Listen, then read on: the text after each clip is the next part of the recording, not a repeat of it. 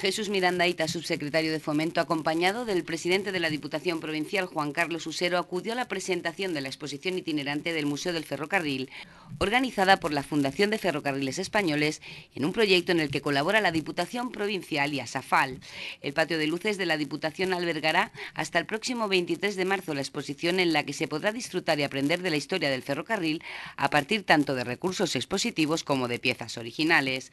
El subsecretario de Fomento manifestó que el tren que forma parte del pasado, del presente y del futuro de esta localidad, vuelve a ser protagonista en una exposición que combina el discurso histórico con el programa didáctico. Entre otras cuestiones dignas de mencionar, la exposición da cuenta del primer tren que existió en la provincia de Almería, que es el mismo tren que hace 100 años cobraba protagonismo con la electrificación en el tramo Santa Fe de Mondújar a Gergal. Es que por una parte es la primera exposición de esta configuración que se celebra en España, va a ser una exposición itinerante y a partir de que termine su estancia en Almería, pues irá a otras capitales de provincia de toda nuestra geografía.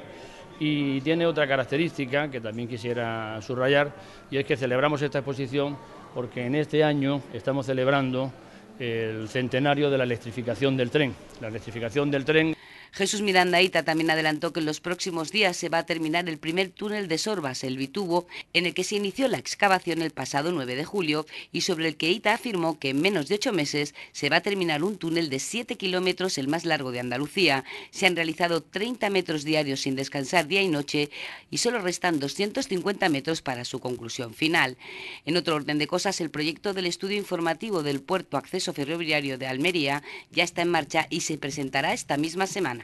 Y estamos en condiciones de que el día 11 se adjudique ese estudio informativo. A partir de ahí ya pues será el proceso de elaboración y de definición de la solución técnica eh, más apropiada para el acceso ferroviario al puerto de Almería. Acceso ferroviario que se integra, como conocen también,